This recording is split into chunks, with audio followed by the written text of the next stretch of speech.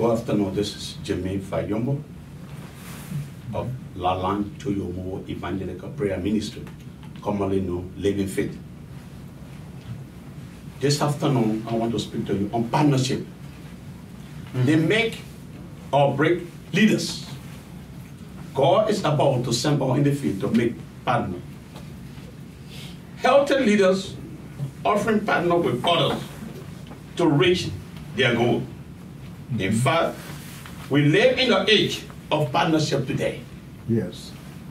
Both of the corporations, war, and in the church. Paul reminds us that there is nothing more dangerous to a leader than a unhealthy or destructive partnership. Note the several signs of a bad partnership. We are going war, we are going out to make partnership.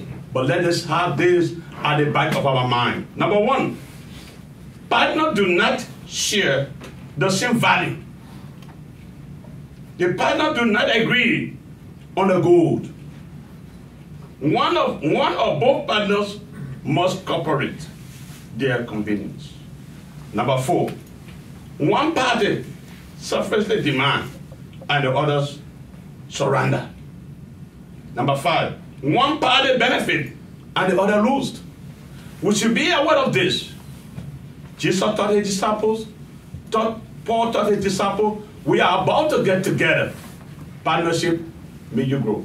Partnership break you down. But if you have this mentality at the back of your mind that we are here for Christ, Amen.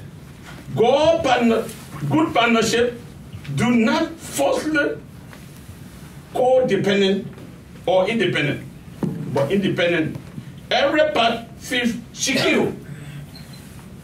Secure. Every partner feels secure and enjoy the partnership multiply and produce both parties. God want to use you and myself to get into this partnership. But let us have the Bible principles, foundations. Amen. God can use, God willing to use anybody. Second Chronicles 16 9 told me that God is looking at the four corner of the earth today. For who heart is given to him. He don't care for your education. He don't care if you speak or you don't speak. He only care for your heart. God is able to use breaking vessels. God is able to use dirty vessels, small vessel, but God can never use a dirty vessel. You, the Bible tell me, a blind cannot lead a blind. We that God are trying to put together into this, God, uh, to be the foundation, we may ask God first to get the dirt out of our. Then we can go and get it there out of the poor. Yeah. If you're not willing to be separated, God will never use you.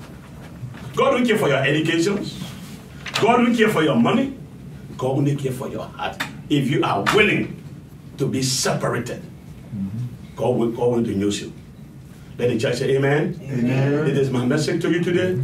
God want to use us, but we have to be willing Amen. to say, God, here we are. Amen. Your mind. Christianity is from this ear to this ear. The way you think is how you will be. We are to get away this old mentality and put on the Jesus Christ mentality That's the only way. that we are so winners. We're going to the world. Say, be wise. Mm-hmm. Be wise. Amen. Brothers and sisters, we didn't plan the God planned it before we were born. Be in the room today, God wants you to just be wise and be willing. He will supply all that we need. Everything. Amen. Spiritually, He will supply all. Physically, He will supply all. Financially, He will supply all. If we are willing to be separated and touch no unclean thing. One thing I told my elder my brothers and sisters, if we are not willing to be like Daniel, who said, I will not defile myself with the king food. Daniel stood on it. And God used Daniel. Today, if five of us are still up in the room and willing to say, No, we are not going to associate with anything that against the word of God, God going to supply money. Go ask Daniel out of in our school they said, look, we don't want to eat vegetables that drink water. We don't want to keep, we don't want to eat a king food. We don't want to eat a king meat because we want to spoil ourselves. God give them more wisdom. Amen. Amen. My time is done. God want to use us, but we have to be willing to separate our mind, our Amen. mind, and follow Jesus' temple. Amen. That's right. Then we'll be used. God bless us. God bless. Amen. Amen. Amen.